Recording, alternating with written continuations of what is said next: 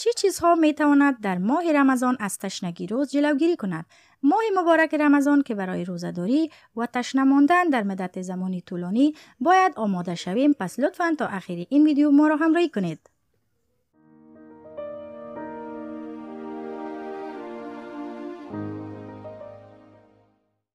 سلام و وقت بخیر. باز هم با یک موضوع مهم دیگر در رابطه و ماه مبارک رمضان.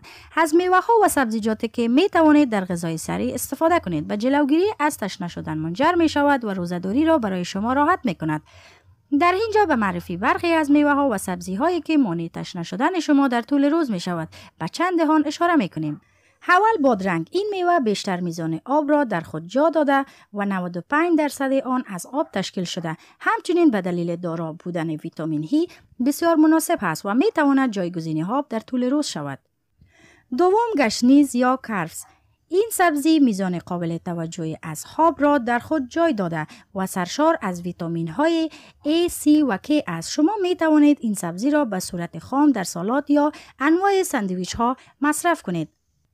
سوم مولی سرخک. همه ما امرا با غذای خود از سبزی ها استفاده می کنیم البته مولی سرخک که در سبزی خوردن وجود دارد برای رفع تشنگی و جایگزین شدن آب بسیار مناسب است. شما می توانید علاوه بر سبزی خوردن مولی سرخک را در سالاد هم با کار ببرید.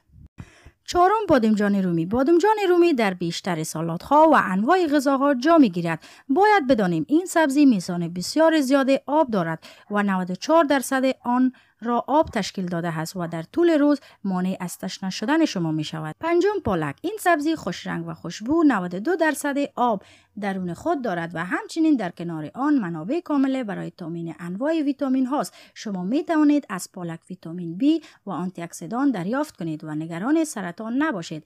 در اخیر باید گفت تمام میوه های خوش رنگ نیز در جلوگیری از تشنه شدن کمک می کند.